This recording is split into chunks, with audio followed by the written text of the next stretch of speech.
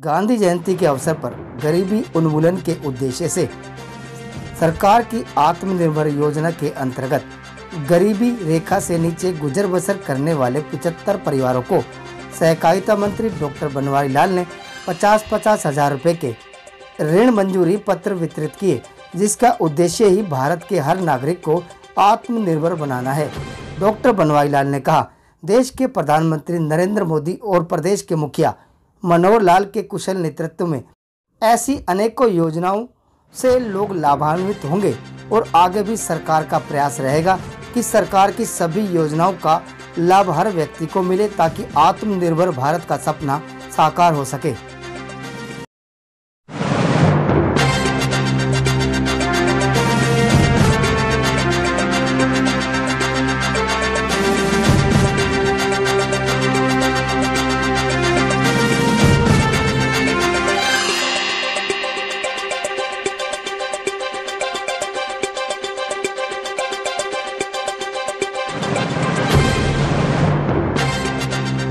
गांधी जयंती के उपलक्ष्य में देश के प्रधानमंत्री नरेंद्र भाई मोदी ने जो आत्मनिर्भर भारत अभियान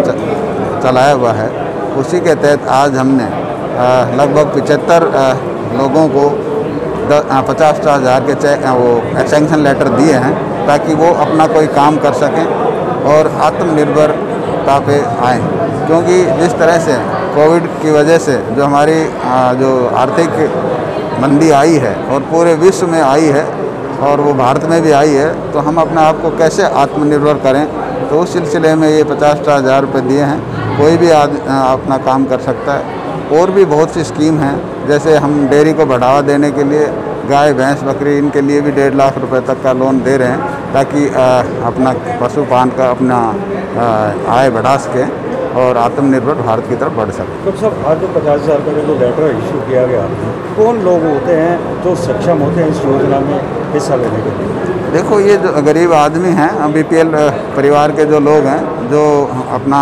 छोटा मोटा काम कोई टेलरिंग का करे कोई ब्यूटिशियन का करे कोई और कोई काम कर सकता है सब्ज़ी का करे जो भी काम करना चाहे वो पचास हज़ार रुपये में अपना काम शुरू कर सकता है और कितने, लोगों को चयनित आज पिचहत्तर लोगों को आज हमने चेक ना ये सेंक्शन लेटर दिया है।